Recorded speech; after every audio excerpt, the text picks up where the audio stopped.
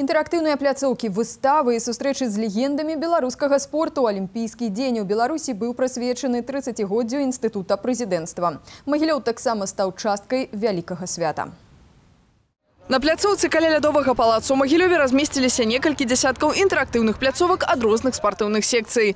Усе яны частка вялікага алімпійскага квесту.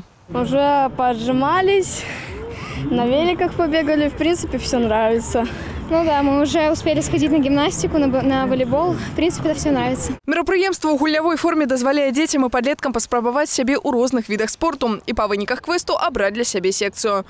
Для трэнераў гэта магчымасць разгледзець патэнцыял і пачаць працаваць з магчыма будучымі алімпійскімі чэмпіёнамі. Мы стараемся ребятам продемонстрировать и показать, что они будут делать в секции в начальной группе первого года обучения и в дальнейшем переходить на более сложный технический уровень. Нагадаем, што на летніх алімпійскіх гульнях медалі заваявалі і прадстаўнікі магілёўскай вобласці. І гледзячы на гэта маладое пакаленне імкнецца да высокіх вынікаў. Зараз у магілёўскай вобласці развіваецца 43 віда спорту. Все виды спорта развиваются, что на территории области, на территории республики.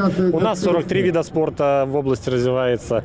Пытаемся поддержать и не олимпийские виды, потому что видим желание родителей приводить в данные виды спорта своих детей. Карина Немцева, Виталь Вопсеў, навіны рэгіёна.